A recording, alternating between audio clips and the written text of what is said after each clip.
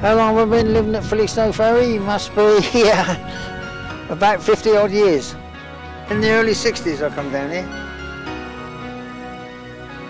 We first bought the house about 19 years ago and um, my husband did lots of work to it and we finally moved in a year later. Well, I was born at Felixstowe Ferry in 1939, but during the war, uh, my parents moved to Felixstowe because my father was in the Merchant Navy. Uh, after the war, we moved back down to Felixstowe Ferry and my father uh, resumed fishing.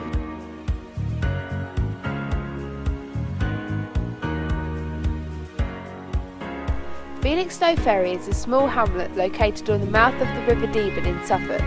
Despite having less than 100 residents, the ferry supports a CAF, sailing club, two fish stalls, a links golf course with clubhouse, and until recently two pubs. The floods of 1953 were a large factor in the history of the ferry. Visitors are still reminded of the event by a small plaque on the wall of the ferryboat inn marking the level at which the floodwater reached in the pub itself.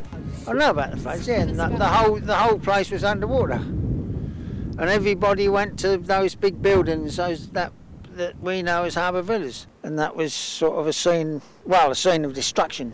Houses, wooden houses floating out to sea and things like that. So Quite a lot of damage to boats. We've got stilts under the house, and when it floods, we we can't get out. Or we can now because we've got a balcony, but when we first came in and it flooded underneath, we had to be rescued by boat, which was quite exciting. I was brought up down the ferry here.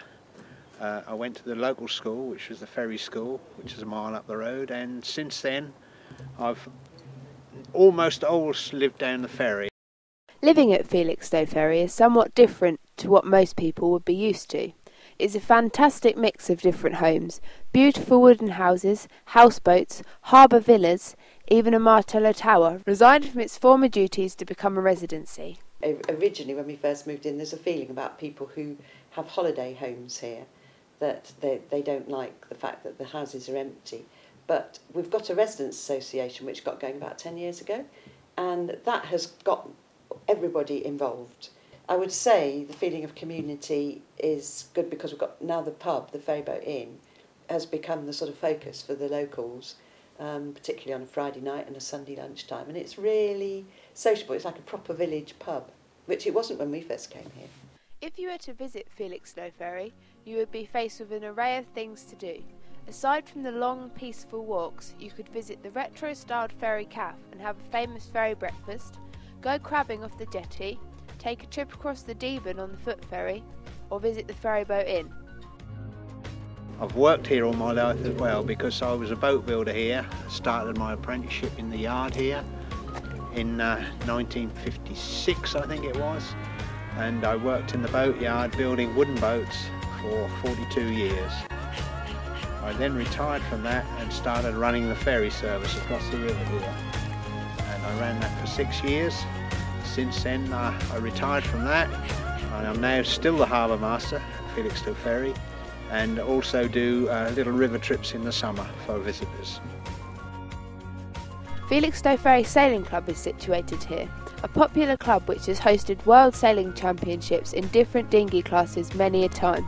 As well as this, there are hundreds of other different boats here, ranging vastly in size, shape and purpose. It is a prime location for keeping yachts and cruisers, as well as commercial vessels.